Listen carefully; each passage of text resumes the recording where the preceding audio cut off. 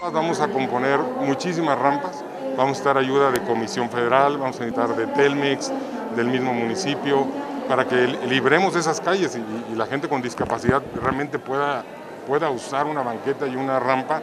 y que verdaderamente tengan las condiciones las rampas y el reglamento para que, para que verdaderamente sirvan, ¿no? 12 mil en el último censo, entonces ahorita son 14 mil y bueno, tenemos que ser incluyentes, ¿no? Tanto en el sector empresarial como el tema de gobierno y algunas empresas paraestatales que nos van a tener que ayudar a quitar postes, muchas cosas que estorban.